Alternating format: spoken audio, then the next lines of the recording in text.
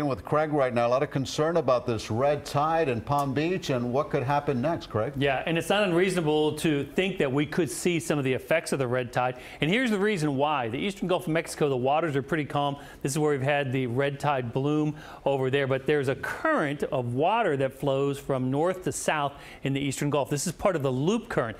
Now, as we know, there's also the Gulf Stream to the south here with a faster moving current that comes right up off of our east coast. So it's not out of the question question to think that some of this red tide material is being put down into the Gulf Stream, then carried north. But it's been there for a while, so what's changed? The winds have come up, and the winds are blowing out of the east and northeast, so it's not unreasonable to think that the pieces of red tide that are flowing north in the Gulf Stream are being pushed towards the coast. Now, Palm Beach County, that's the closest part of South Florida that is uh, to the Gulf Stream, so distance traveled there would not have to be that far. And the northern Broward, of course, is uh, would be the second closest place. And as we get farther to the south, we're a little bit further away from the Gulf Stream. So we're to have to pay attention because we may have some issues with the red tide here, especially as long as the wind is up. And the wind's going to be up through next weekend. Here's our Broward camera this evening where we're looking pretty good. 83 in Miami, 83 Fort Lauderdale, Hollywood, 84 in Key West. 7 on the stickiness scale feels like 90. It's October and it still feels very hot.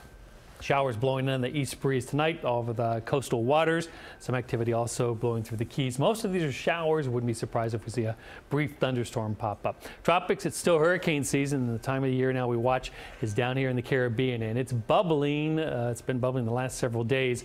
We'll keep our eyes on it. Nothing showing any uh, definitive sign of development down there, but we'll watch it. Other thing we're watching is Tropical Storm Leslie out there. Its forecast is slowly get stronger. It's going to be a big wave maker pushing waves out away from it. Our forecast for tonight looks like this. Going to be a nice night. Some brief storms blowing by. Summer muggies, of course, and a low near 79. Tomorrow, breezy sun, quick showers blowing in off the ocean, high temperature near 90 degrees. For boaters, exercise caution, especially in the Gulf Stream. Seas up to six feet out there and choppy conditions on the bays. Taking us through the end of the weekend of the weekend, that onshore flow continues to blow. We'll see some showers on the breeze, the best chance on Thursday. The weekend right now, not looking bad.